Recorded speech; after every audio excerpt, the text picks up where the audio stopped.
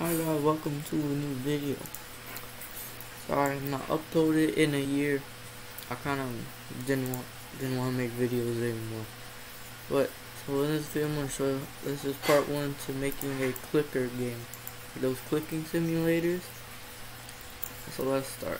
First, let's make our leader stat. Let's go into server script service and press the plus and press script. Now let's try our first script. So we're gonna get when the player joins, which will be game.player.player added.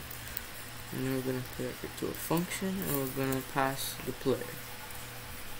So this once the player joins we're just gonna make it the lower player Then we're gonna make a folder and a player, let's name we're gonna name it stats. We're gonna make a folder and player. So local stats equals instance.new folder and then parent it to the player so it is inside of the player. Then we're going to name it by doing stats.name equals. And then leader stats. This just gives it a name.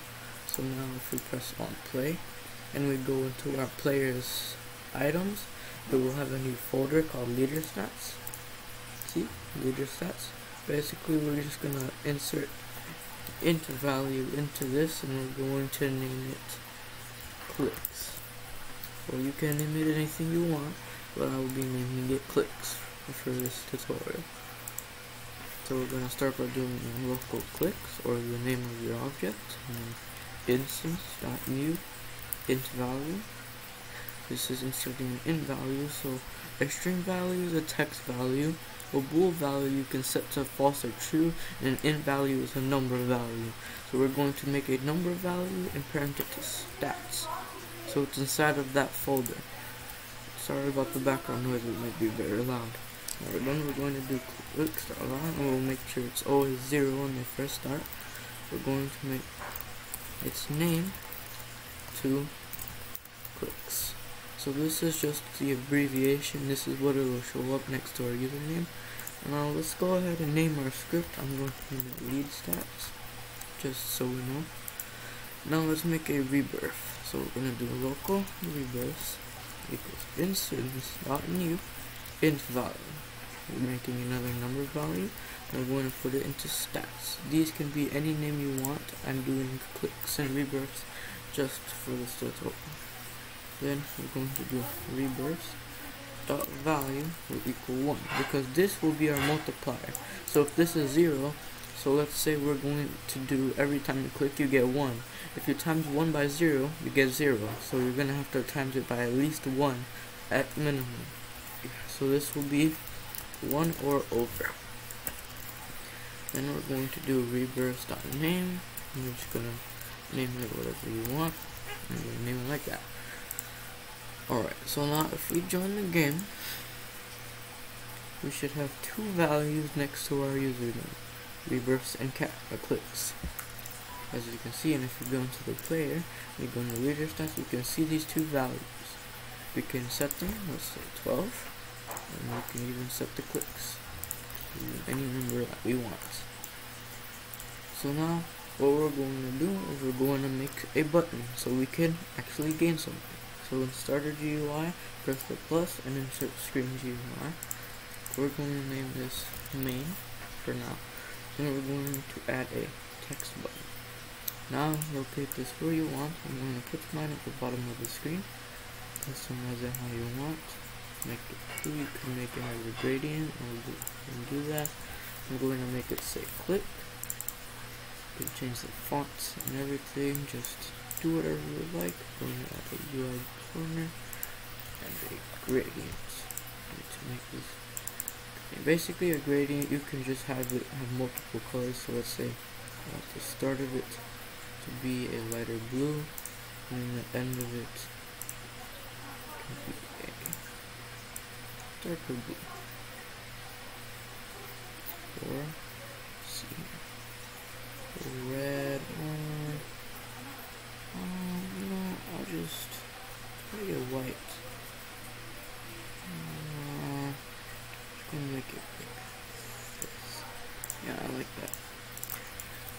so we have our button. Let's name this quick for now. Now let's make it so it actually gives us our player leader stats. So click the plus and add in a local script. We can run the script. I will show you in future videos on how to use this with remote functions, but for this video we're not going to use remote functions. So we're going to make it so we're going to check when the player clicks on the button. So script.parent.mouse button clicked, connect and then a function. So when the button is clicked it'll run this if we were going to make a remote, we would do the remote's name and then fire server. That's just a little tip. So now let's do it. So let's get the local player, which will be game.player, the local player. Now let's go into the player stats. So we're going to do player.leader stats. And then whatever you named your stats for me, clicks, and then value, for getting the number of it. Then you can go ahead and copy this or you can retype it. I'm going to retype it. And it will equal player dollar dot clicks dot value. And then plus however much you want I will make mine 5 now let's say you want to add the rebirths multiplier here. So you would go into add and you make a new local. So this I'll name it local rebirths equals player dot leader stats dot rebirths dot value is getting the value of the rebirths if it's not if it's before play, local player you won't be able to get the player and you'll have to go and you'll have to type game not player the local player not leader stat but we're just gonna do this to make it easier. So after the five we're going to do times and then our rebirths value. So every time our rebirth increases we'll get more per click. Let's go ahead and test that if I'm going too fast please tell me in the comments or from or if you want to learn anything else. Let's join up here. Okay my character is not loading for some odd reason. So see our clicks are zero once we press click it'll increase by our integer that we added. So if we keep clicking 5 now let's say we make our multiplier to 10 every time we click we'll get more so if we make it 100 as you can see we're gaining a lot quicker. So now we're going to make it so we can actually rebirth so first you want to insert a frame okay name I will name this frame rebirths. Locate this however you would like. Increase the size if the like going to make it look like this now going to customize it how I want. I want to do our corner. I'll make it gradient as well, because why not? Make it purpley blue there. And here we're going to make it a lighter blue. As you can see, it looks nice like that. So in our rebirths page, I'm going to add a text label and we're going to just make it so called one. We can make it a title. I will rename this to title. Oops. Scaled, customize it you want. I really apologize for the background noises. Scale this to this size and remove the background. Alright, now we have our rebirth frame.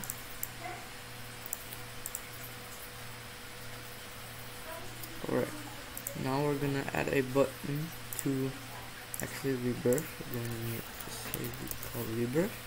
We're going to change this index to 3, meaning it'll be over everything else. See if we can make it 1. Well, because everything else is 1, it will stay on top, but usually everything else would be above it, so if we add like a frame, it'll this will be behind the frame. So let's add button where we want. corner. We want, and then make it so rebirth. The text white this bold and then you can color it however you would like. I'm going to make my green like this. Just skip right now. We're going to add a text label. We can make this display your multiplier here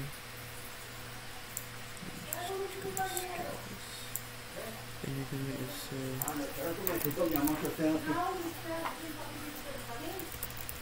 I'm just gonna say current multiplier here and we're going to make it bold. Then I'm just gonna make it white for this tutorial. Color it however you want. I'll make it a little lighter blue in the background.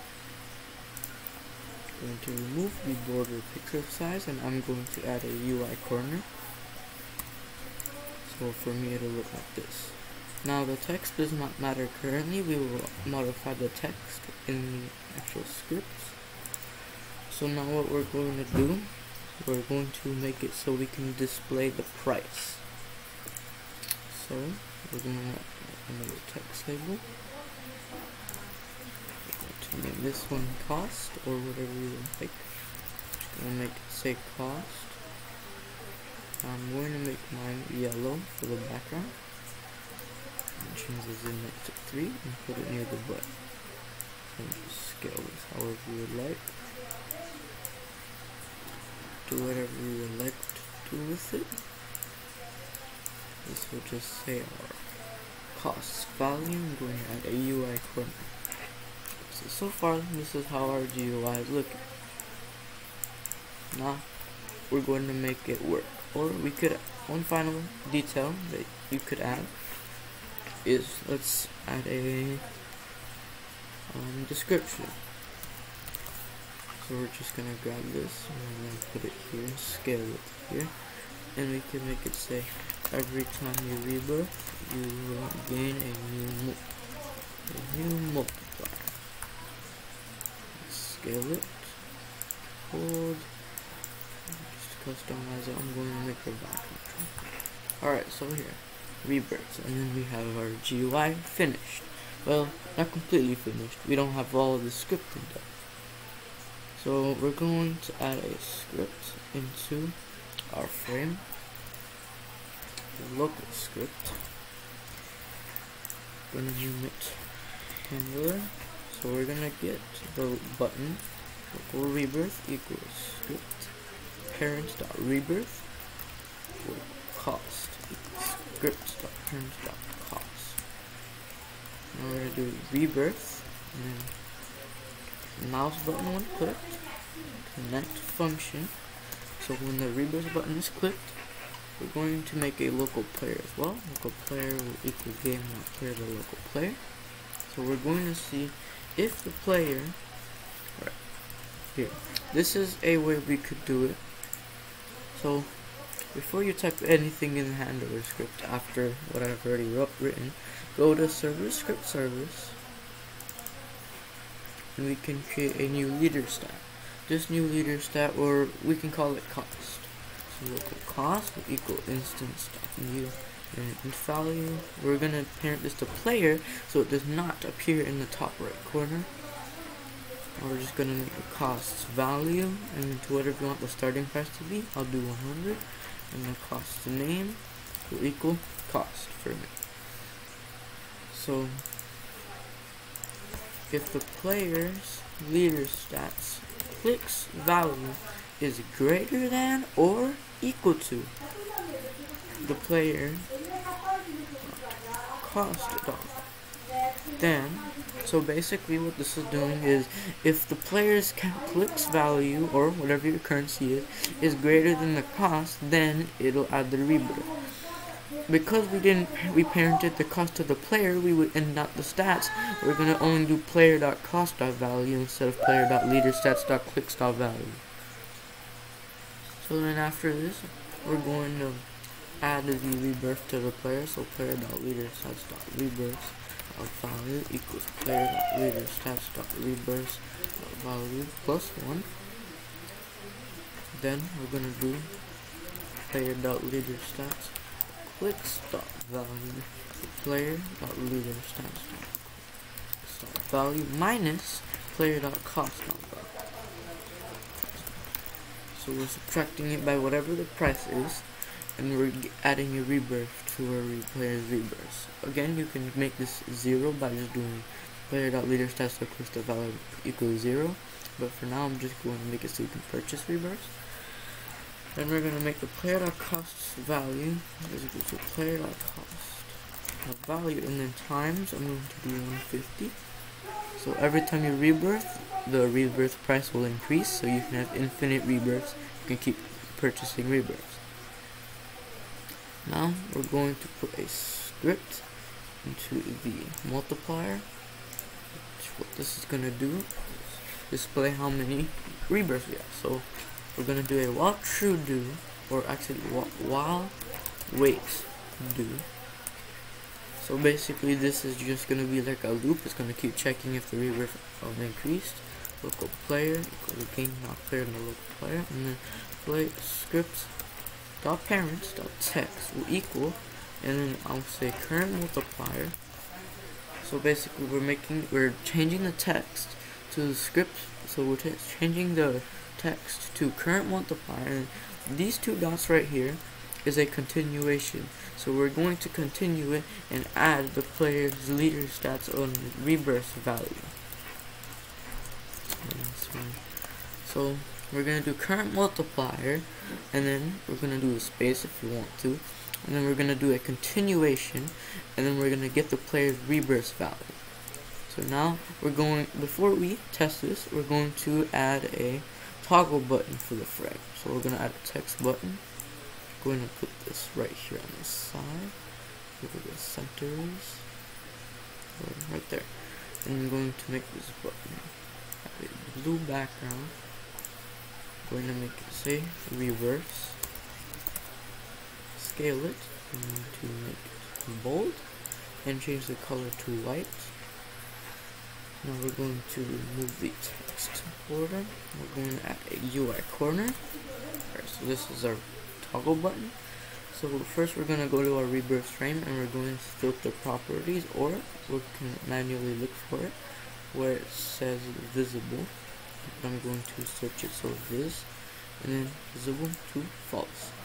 So basically we're gonna make this button if the frame is not visible, so if this is false, then when the button is pressed it'll make it true. But if the button is pressed and this is true, then it's gonna make it to false.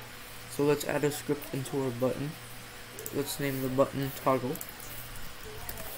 So let's insert a script. So script dot parent dot mouse button one click connect function. So when the button is clicked, so we're gonna then we're gonna go and locate wherever the rebirth is. So for me, the rebirth frame is there. Script.parent.parent. .parent. So the script's parent is the toggle button because it's inside of the toggle. Then we're getting the parent of the toggle button, which is um, the main, and then we're going to get rebirth, which is in the main, and then we're to make it not script.parent.parent rebirth. So basically, it's making it so if it is visible, we're to make it not visible. If it's not visible, we're to make it visible. Alright, let's go ahead and test our game. Everything should be working. We're to check output just in case. Because I still do make many mistakes. Our rebirth button. Wait. We did not get the stability or toggle. We have to add dot visible to the end. Because we're toggling its visibility. Now, if we go in, and we test out our game, everything should be fully functional. Rebirth, as you can see, current multiplier 1 because my rebirth is 1. Oh, we did not display the cost value yet, but I'll just show you. Alright, so our cost value is 100 at default. So see if we press the button, nothing will happen. So let's go ahead and get ourselves 100 clicks. It's rebirth, as you can see, two rebirths, and our cost is 150. Let's make the cost to display the price we're going to add a go to our GUI and we're going to go to cost. We're going to insert a local script. Then we're going to do while it waits, do local player equals game dot player dot local player player dot leader stats or no um, script dot parent dot text equals and we're gonna do a dollar symbol and player dot cost dot value so we're just making the parent's text which is the cost two dollar symbol and then whatever the cost value is. So now let's enter the game. And we should have the basics of our clicking game completed and that will be the end of this tutorial. As you can see, we're in the game, we press the click, we gain click. So if we go to rebirth, as you can see, we have our nice GUI. Current multiplier is 1 because we have 1 rebirth, and our price is 100. So now let's see if we don't have enough, won't do anything. So if we get 100 clicks now, press it. Boom, two rebirths, 150.